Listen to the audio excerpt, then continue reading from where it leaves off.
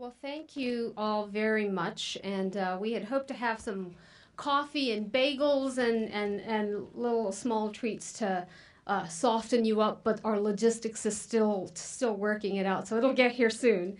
Um, but listen, it's such a pleasure to be here, and thank you all for coming out. And it's good to see so many familiar faces in the crowd as well.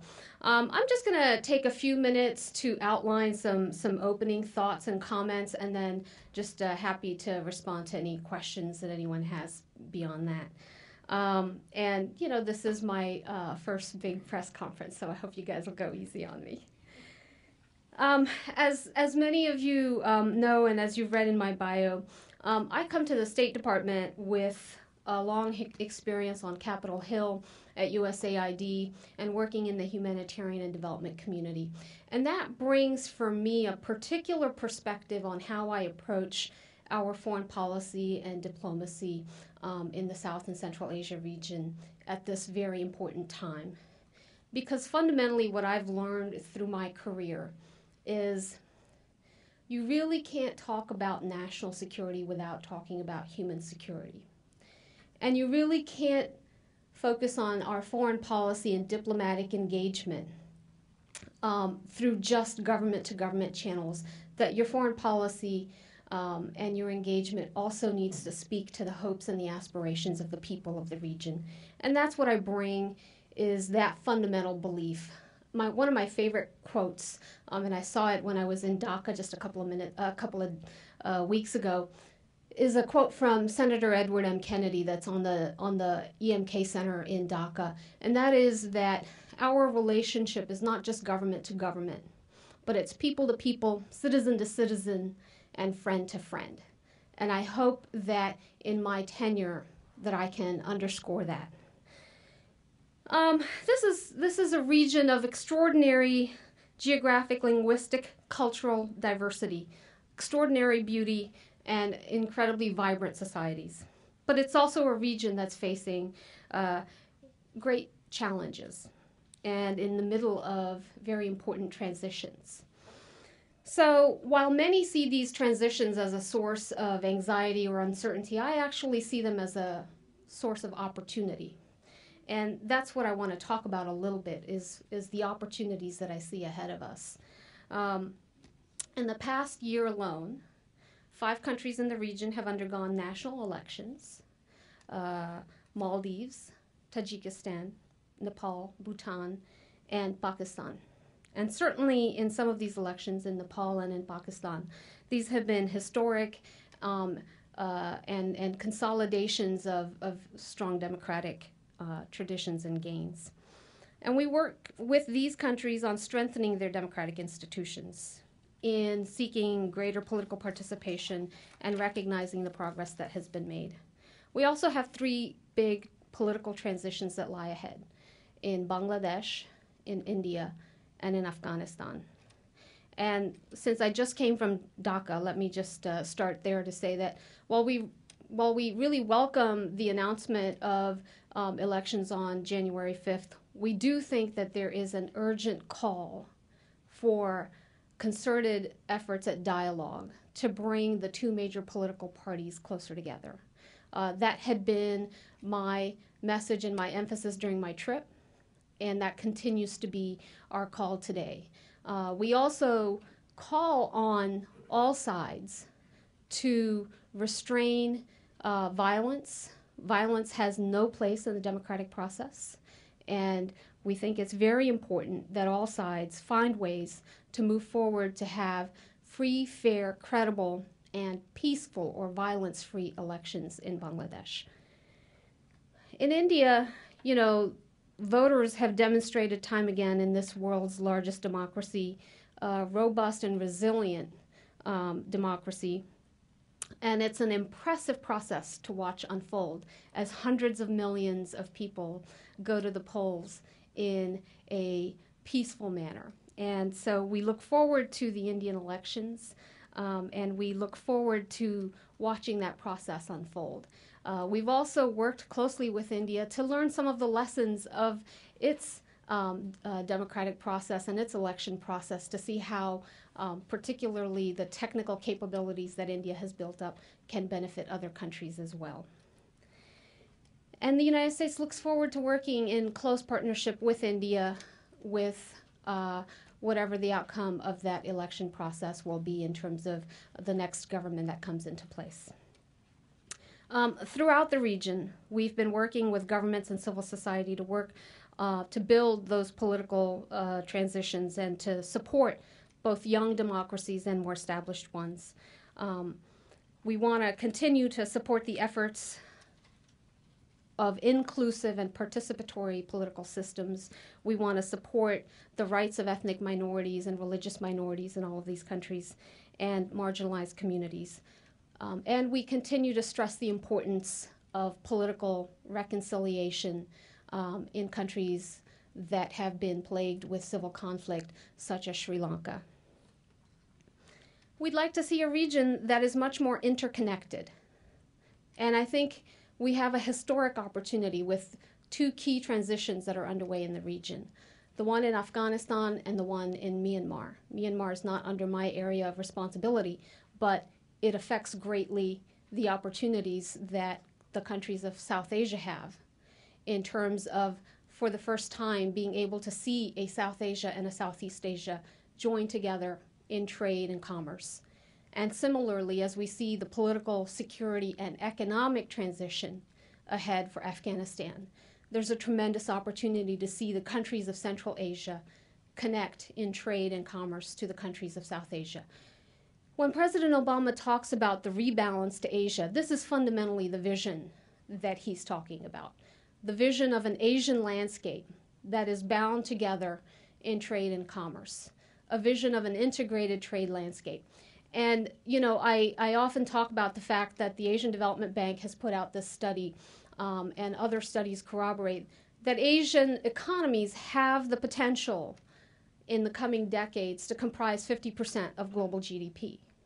Now, that's not a probability, but that is definitely a possibility.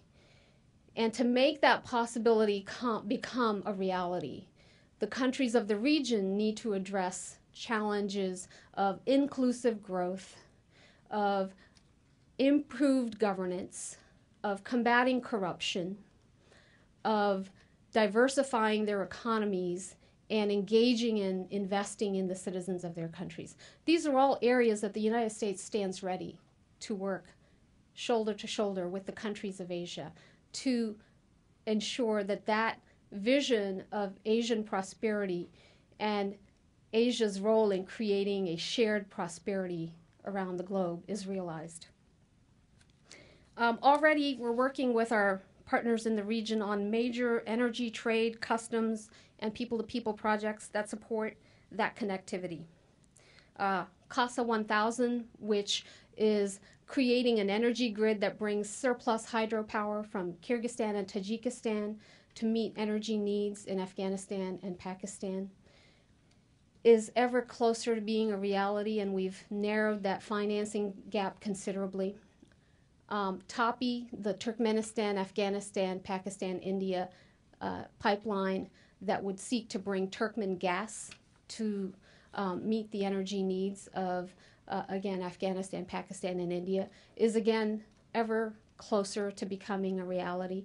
And we look forward to working with the countries in the region to address the remaining challenges. And really, the work that we have done over the past decade in investing in road and infrastructure in Afghanistan and across the region is all about supporting that integrated landscape.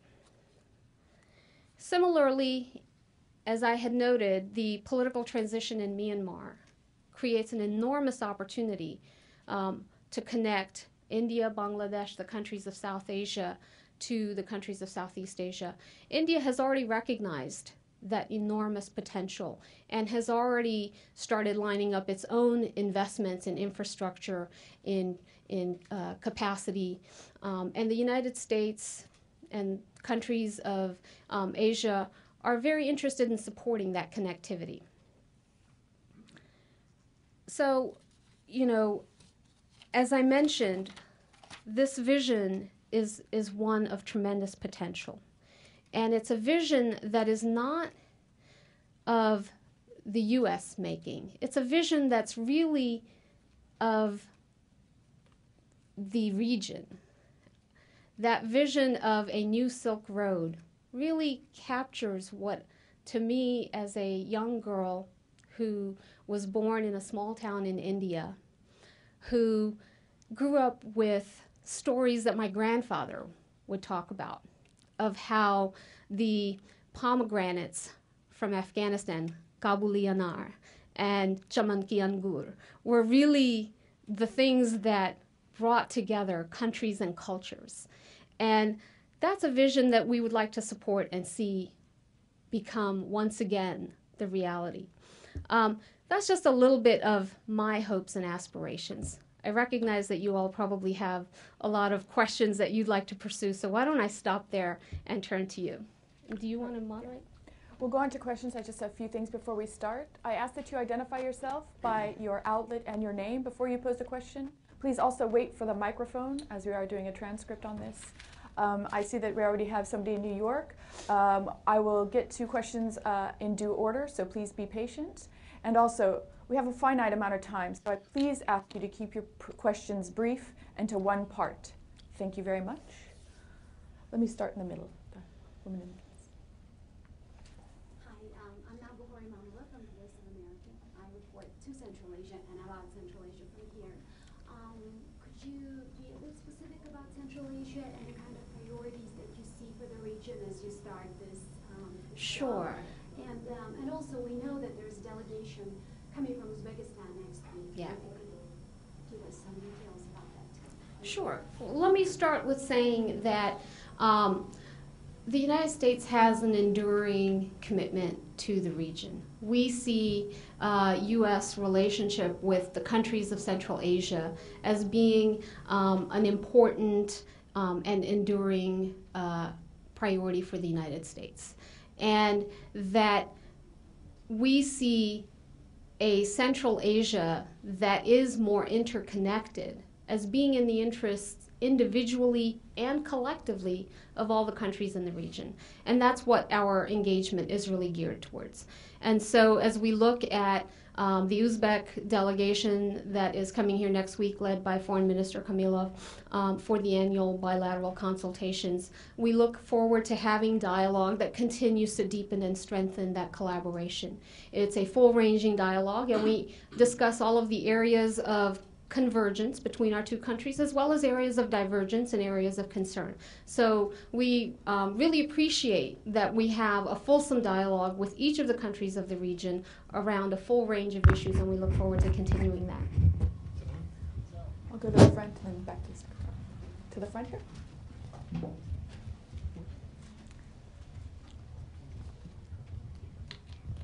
Aziz Hanifa with India Abroad and uh, Rediff. Uh, Nisha, good to see you here. Uh, five, uh, five years ago, when the US India civ nuke deal was signed, it was considered sort of the symbolic uh, manifestation of the US India strategic dialogue. Uh, today, it still remains in limbo. Uh, uh, there are people who say that the liability, nuclear liability law has indeed become a liability, and there's a lot of angst among U.S. business and industry, and even among Indian Americans who really lobbied the Hill in terms of getting that law through. Uh, some feel that India has played the U.S., it got what it wanted, and now there doesn't seem to be anything happening, and that the early works agreement and all that talk is only a spin. How do you uh, hope to alleviate this because it's still seen as sort of, uh, as I said, sort of the manifestation of the US India strategic dialogue. And that moving ahead in terms of full implementation would probably get, would be the catalyst that probably people could talk as a strategic dialogue.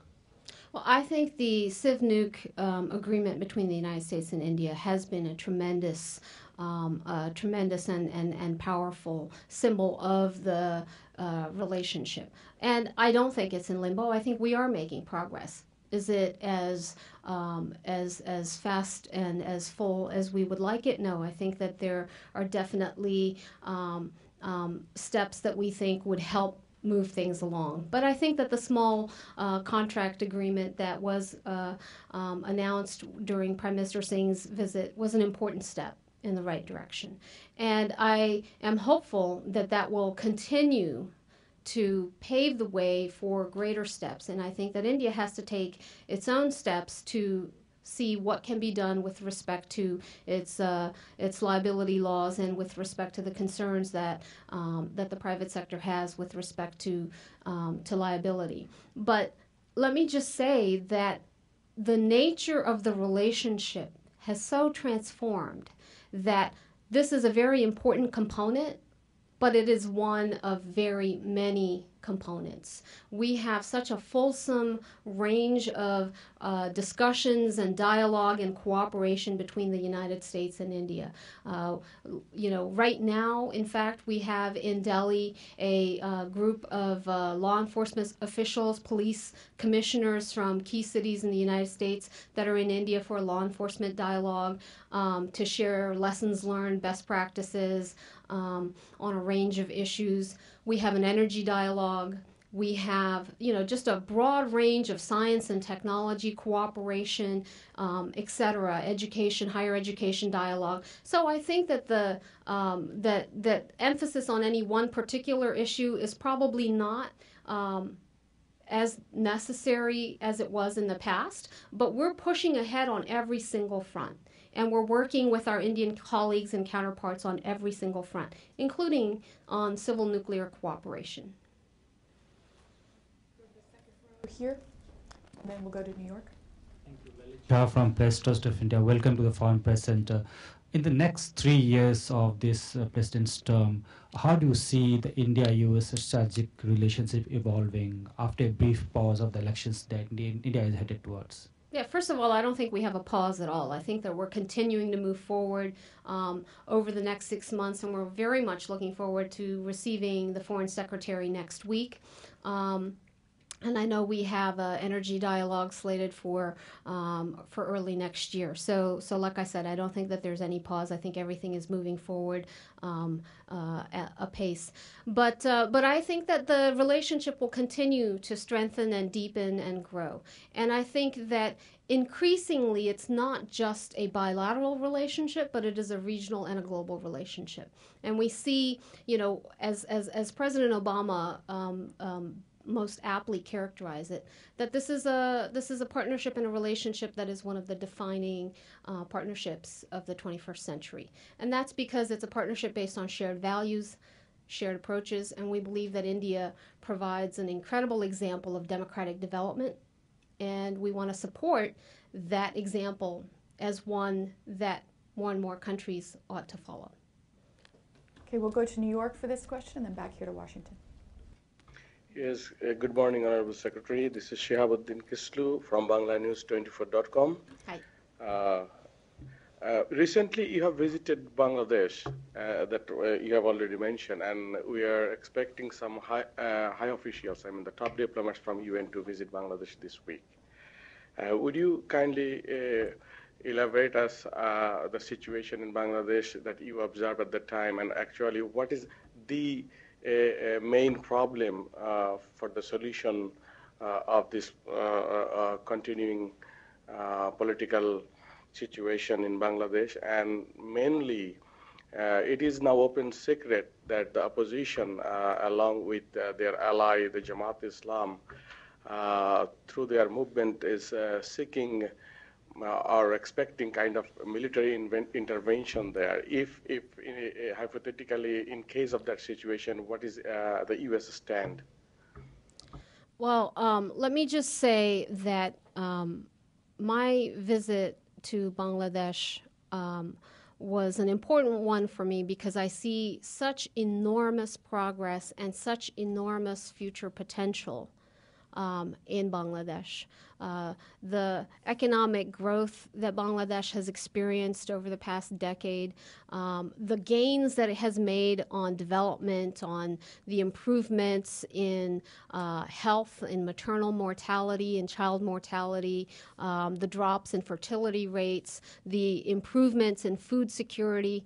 Um, this is this is an incredible story of progress that we have seen in Bangladesh and an incredible potential for the future as we talk about this more integrated um, region between South and Southeast Asia.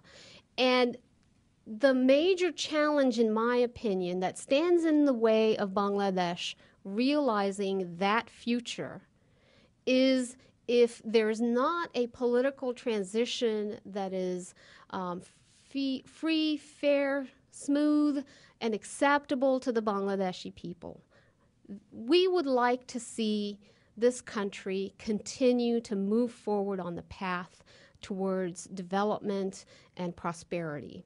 And the United States and our, our, our friends in the international community don't have a stake in who wins what election. But we would like to see a process that is free, fair, credible, and free from violence. That has been the message that we have underscored. And for that to take place, both of the major political parties need to come together. The solutions are not going to come from the international community. The solutions are there within the people and the institutions and the parties of Bangladesh. And what needs to happen is for that dialogue that allows a compromise to emerge that will allow for elections to take place that the people of Bangladesh can have confidence in and can feel are credible. And that has been our underlying message publicly and privately. Thank you.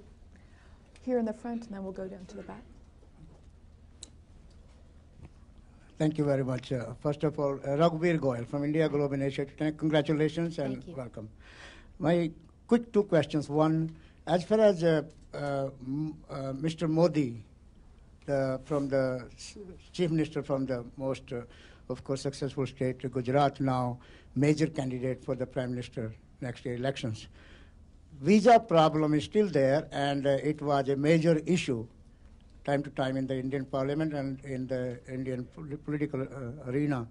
What's going on with his visa? Finally, as far as India's stand in Afghanistan is concerned, after 2014, Indian political system is worried about because of there is a triangle, Pakistan, India, and U.S. or among others. So I, I believe that Pakistan doesn't want India's role in the future, but India has invested billions of dollars. That's what, according to the U.S. analysis and Prime, uh, President Obama. So what will the future of India in Afghanistan after 2014? Thank you. Um, so let me just um, respond to your last point first, which is that um, what India, Pakistan, and all the countries in the region want more than anything is a stable and secure Afghanistan. And that is the point of convergence for all the countries in the region. And we think that that is the point for constructive engagement with all the countries in the region. And that has been our effort and our policy. We've had a very close uh, dialogue and cooperation with India with respect to um, the transition in Afghanistan. We have a trilateral conversation between the United States, India, and Afghanistan. Um, and India has played a very important role and continues to play a very important role and has provided over 2 billion in economic investment um, has provided incredible training and infrastructure and we see that as a positive role that will continue um, moving forward. Um, with respect to your second point i would just note that um, there's been no change in u.s rules um, or regulations with respect to its visa policy. And that is that um, all individuals apply and have to go undergo a review process. And so, the point at which there's an application, there will be a review process. And I can't speak to what the outcome of that process would be. Um, so, as far as I'm concerned, there's no uh, no news there. There's no change in policy there. Um, it's it is as it has always been, which is that visa applications are reviewed on a case by case basis. All right. Um, I'm going to go here in the middle and then to the back. Here in the, I think on this side to the, yeah, sir. This side. Oh, my. Sorry, we have mics on both sides. I'm sorry. Uh, This is Anwar Iqbal. I work for Pakistan's Dawn newspaper. And welcome here. Uh, I will also sort of go back to what you said about 2014, the transition in Afghanistan, yeah. and is an important transition, as you said. Uh, what we experienced during the first transition, which happened after the Soviet withdrawal from Afghanistan, was a complete and rapid withdrawal of U.S. and its interest from that region, and that led to what happened in 2000 on 9/11. So there are people in that region who still fear that, if not now, further down the road, the, Amer- the Americans can actually withdraw the way they did then. So, you, would you like to allay those fears? And also, one of the irritants in relationship with Pakistan is your drone policy, uh, which is people still are unable to understand. I mean, uh, do the Pakistanis approve the strikes? Do they not? Uh, I mean, are you working with them? What is the future of the, your drone policy? So could you please like to comment on these? Well, thank you for both of those questions. Um, let me just first clarify that while I am the Assistant Secretary of State for South and Central Asia, we continue to have um, Afghanistan and Pakistan policy under the direction of U.S. Special Representative Jim Dobbins. And so, for specific questions with respect to um, the drone policy and such, I would refer you to Ambassador Dobbins. Um, with respect to the transition in Afghanistan, let me just say that I think that um, the United States engagement to the region, as I noted at the outset, is an enduring one. Um, and we will continue to support the economic development and prosperity of this region. Um, we're not going away, we're not going anywhere. Um, I think that we have continued to provide development assistance, economic assistance, uh, and technical support to all of the countries of the region, and we are committed to that um, as we move forward. Yeah take a um, question in the back, then I'm going to come up here to the middle. Thank you. Chidu Rajghatta, The Times of India.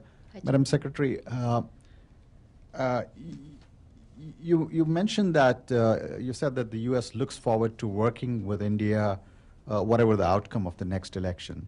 So I want to go back to the visa issue um, for Mr. Modi. Uh, does, elected do elected representatives and elected prime minister uh, are they subject to the same rules as say leaders of opposition or unelected uh, people?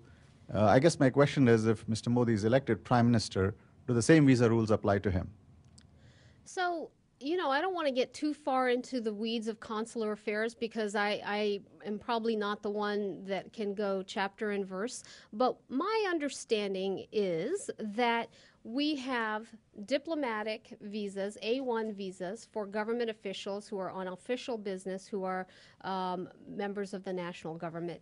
And that there are, for all other individuals, um, the normal process is a tourist visa, and that goes through the individual application process. And so, you know, depending on the official and the capacity um, in which they're visiting, the determination is made on what kind of visa they're applying for. I don't know. I, I don't think. So beyond that, I would probably have to refer you to the consular affairs folks to get more into the weeds. In the blue shirt. In the blue shirt. No. Matthew Pennington from Associated Press. Can I ask you about um, Sri Lanka? Yeah. Um, during the Commonwealth uh, Heads of Government um, Summit recently, the British Prime Minister um, effectively sort of set a deadline saying that he wanted to see progress on um, accountability issues uh, of alleged war crimes by March, or he would um, seek a UN-backed um, commission for inquiry or something of that nature. Does the U.S. Um, support that position, and, and do you think it's appropriate to, to set uh, a deadline like that? You know, the United States um, and and really all of our friends uh, across the international community have underscored um, the need for Sri Lanka to um, make progress on issues of reconciliation, on issues of accountability, and on issues of uh, human rights, ongoing um, concerns about the political space and human rights in the country. And we are committed to working with our friends in Sri Lanka to see that progress. Um, we, um, you know, we, we would like to see Sri Lanka address these issues through its own processes. And we hope that that can, in fact, be the case. I think that the patience of the international community, if real progress is not seen, particularly on issues of accountability, um, that patience will will start to wear thin. And and so we urge our friends in Sri Lanka to use the opportunity to show some concrete steps that their own you know um, processes have yielded through the LLRC. There are a set of recommendations. I think that those are those are exactly um, the points that we'd like to see progress on, and we'd encourage them to do that. Okay, we're going to go back to the fourth row end, and then we'll come up front here. Uh, hi. Thank you for the opportunity. I am Ali Imran, representing Associated Press of Pakistan. Hi. Hi. Uh, you have talked uh, eloquently about uh, regional connectivity Yeah. and uh, Silk Road uh, initiative. Uh, one important factor is improvement in Pakistan-India relations Absolutely. towards that. And uh, can you tell us uh, what the U.S. is doing and what uh, the U.S. can do to help the two countries improve their relations and uh, resolve some of the long-standing disputes, including Kashmir, which lies at the heart of tensions between the two region, uh, countries, and uh, also revive their stalled peace process. Thank you.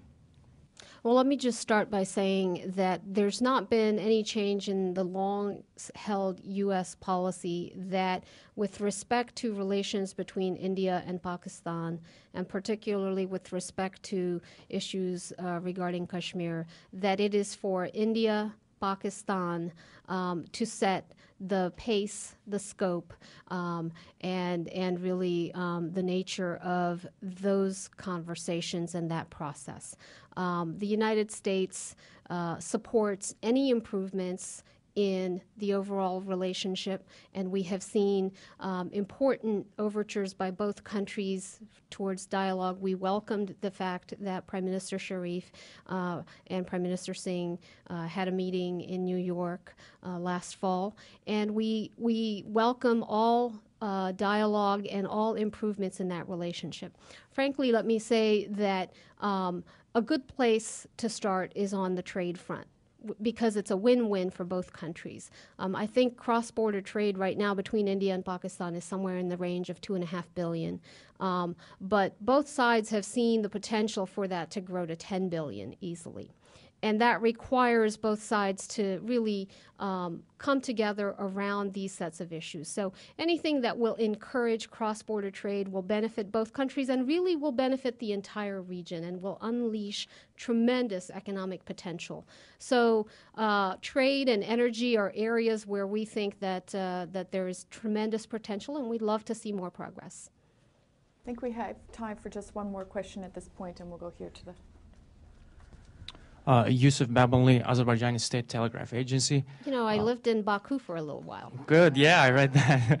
Uh, my question is about uh, uh, Azerbaijan. As you know, it's an it's often cited as an emerging uh, uh, energy security contributor to Europe, and uh, through Southern Gas Corridor.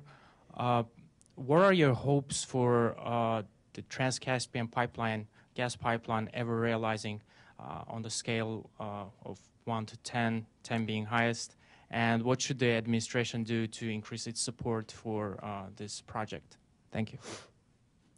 Um, you know, um, we're we're very supportive of all efforts to um, broaden and strengthen the energy connectivity and the energy grid across the region. And while I don't really have a, a, a specific response for you, I'm happy to. Um, as I get further into my brief, quite honestly, I'm happy to um, to engage with you more on that. But let me just say, I think that there's tremendous, tremendous benefit to the entire region to strengthen the connectivity and the grids um, for bringing energy-rich countries into greater uh, connectivity with those countries that are looking for um, um, more sources of, of energy for their for their economies. So um, I'd like to see that um, move forward, but honestly, I'll have to get back to you on the specifics.